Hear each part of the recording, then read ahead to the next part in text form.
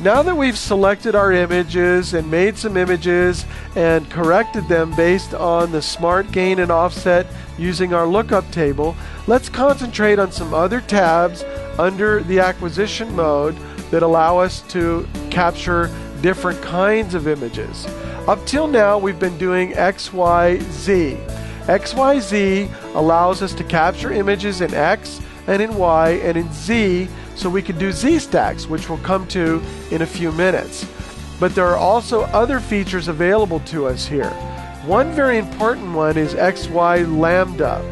XY Lambda allows us to capture images in X and Y according to different wavelengths.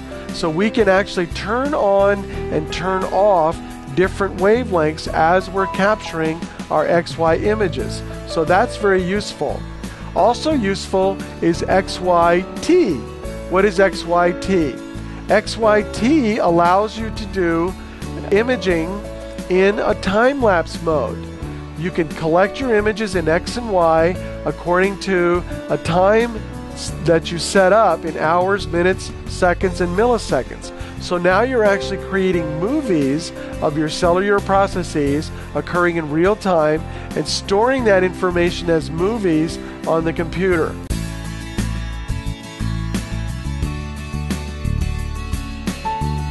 So XYT is very useful.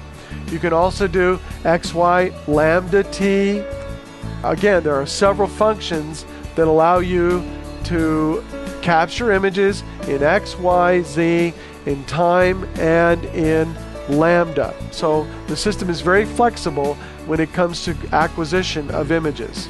Also on this tab, let's switch back to XYZ, is the sequential tab. And this allows you to select how you're going to scan your images.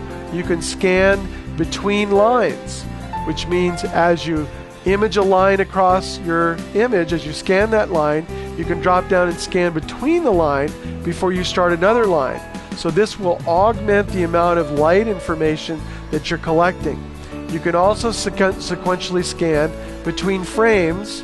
So after every frame is taken, you can go back and select yet another frame and then continue. You can also scan between stacks. A Z stack is a collection of images that are shot through a vertical portion of your tissue.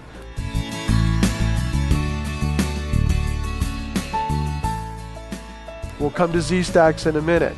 So sequential scan is very useful.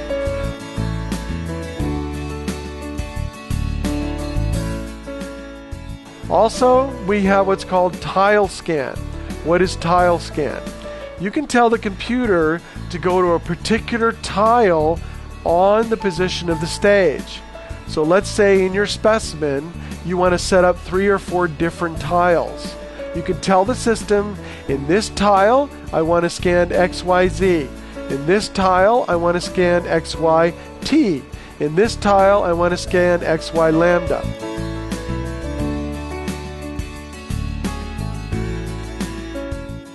So again, it gives you the power of the motorized stage and the motorized focus to get as much information as possible from each tile across your specimen.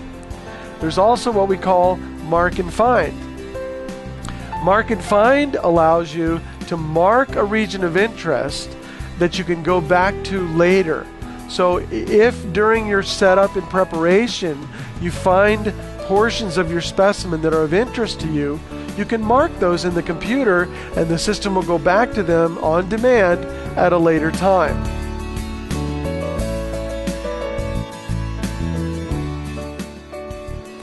Finally, on the acquisition mode tab, you have a best focus panel. I don't particularly recommend the best focus panel because you're depending on the computer to decide what the best focus is for the microscope. I think it's better just to find the best focus yourself. You know your tissues better than the system does, so just rely on your own eyes to tell you what is best focus.